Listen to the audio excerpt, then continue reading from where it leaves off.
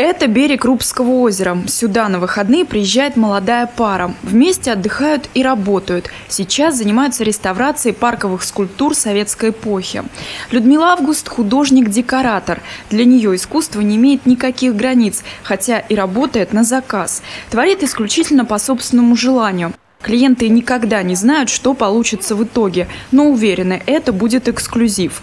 Тема ее картин, как правило, природный декор макромира, порой в непривычном контексте. Скульптор Артемий Черкасов – самый близкий человек и главный помощник Люды. Они вместе открывают мир искусства. Мир, где краски поют, танцуют и даже парят в воздухе.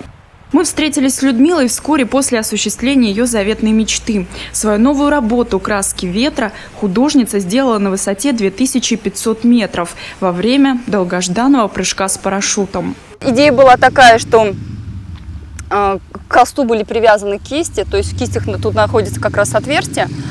Э, и они как бы болтались так в воздухе. В самом самолете уже был сделан зеленый такой яркий набросок, потому что я подумала, что вообще получится, не получится, хоть может хотя бы это там останется. Вот, на всякий случай это была такая маленькая страховка. Вот, и кисти обмакнули в краске, вот, э, но эксперимент не настолько удался, сколько хотелось. То есть, в общем, все краски оказались не на холстах, а на операторах. По словам тандем-мастера, вместе с которым Людмила осуществляла прыжок, с такими нестандартными идеями к нему еще никогда не обращались. Ну, в принципе, вот, все такое э, безумно интересное, то есть необычное, мне самому нравится. То есть чем э, интереснее идея, тем она лучше. Мне достаточно идея понравилась. И воплотить ее, а почему бы нет? Небо для Людмилы Август – это мгновенное превращение. Невероятный необъяснимый поток эмоций она пыталась отобразить на холсте, выливая и разбрызгивая краски. Контролировать процесс приходилось Сергею, ответственному за этот творческий акт.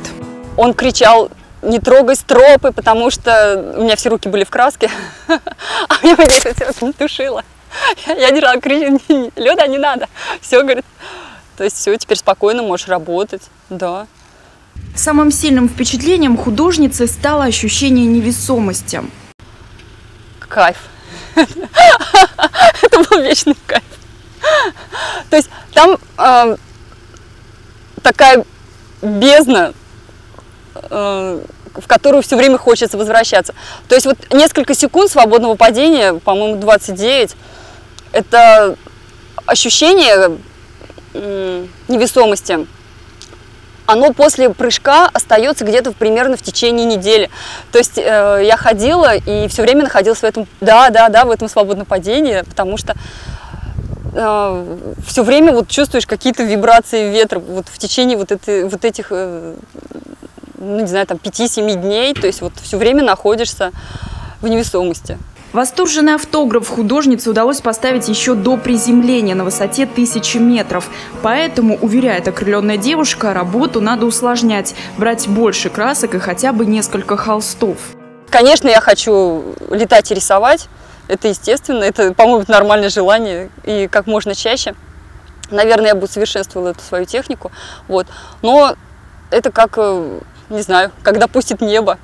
Исполнять свои мечты, по мнению Людмилы, необходимо как можно раньше, ведь они существуют только для того, чтобы сбываться. Надо делать.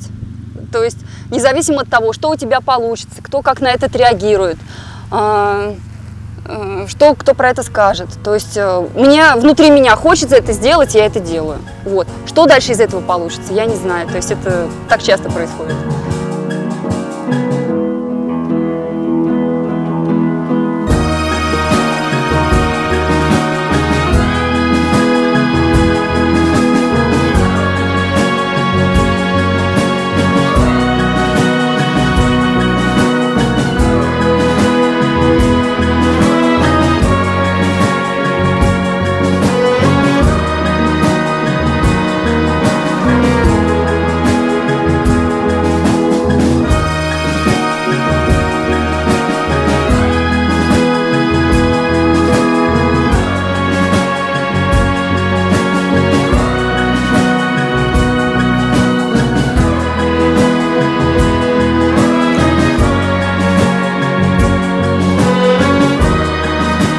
На Сардейска, Андрей Семиволков, РТВ Иванова.